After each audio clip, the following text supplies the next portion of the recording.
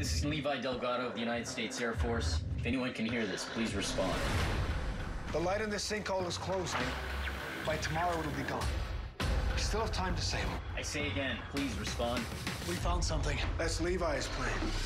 They tried to fix it. There are multiple bodies. There has to be a way to get a message down there. Tell them the plane's gonna crash.